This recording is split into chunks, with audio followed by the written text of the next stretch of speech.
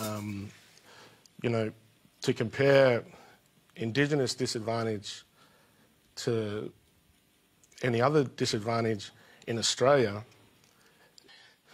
it's crazy to me because, you know, up until I could say, you know, the 80s, you know, my parents got turned away from home ownership. They had the deposit, but as soon as the person who was selling the house found out that they were Indigenous, that house was no longer for sale.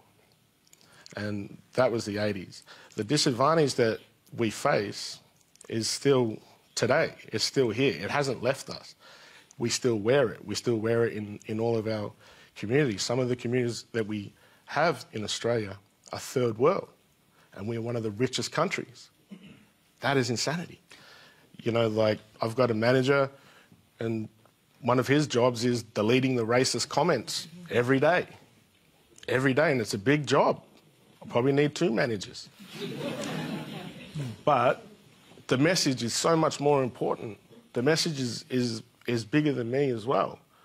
You know, I'm from Shepparton, Victoria. I'm a Yorta Yorta man. And I know I can go home because I know what my values are and I know, you know, the choices I make and my morals uh, are just and they reflect my community. That's why I get to do the things I do. So people's backlash to me, it doesn't fly because I know who I am and I know where I'm from.